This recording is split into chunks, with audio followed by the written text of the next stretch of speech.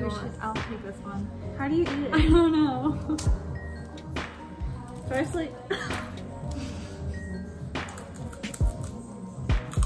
Hmm. I don't know if I want to eat it. I can't make myself put it all in my mouth. I think pretty good. The texture is really, really weird. Terrible. I feel like I'm gonna throw up. All right. Which one do you want? oh my god, it's actually so gross. I don't like it.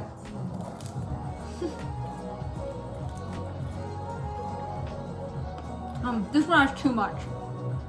Why didn't you have the little one? Hey, you want some? No, I can't have this. Oh my god, it's so gross. My face is actually turned completely red. I think it's pretty good. I don't like artificial strawberry that much, and that's just what it tastes like. I give this like two thumbs up. It's pretty good. I'll give it like. If you've ever tried other Popin' Cookin', you would know. I need a marshmallow. Alright, thanks for coming to our review.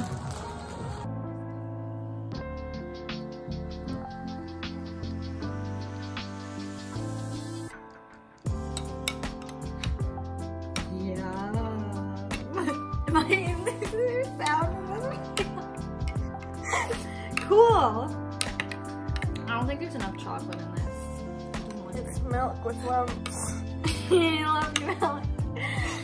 What'd you make for dessert? Lumpy milk. Oh, sorry. It's okay. Fly here. What? They went in the thing. There's a fly in my lumpy milk. Progress. Slightly less lumpy milk. It just looks like milk. That looks terrible. This looks grossy. Swear in real life it looks like kind of a hot chocolate It just looks like almond milk goo. oh, yummy. Yay. Make this one so much better. What was wrong with me? Suck. Did we put sugar more? Did you put more sugar in? I, I lost count.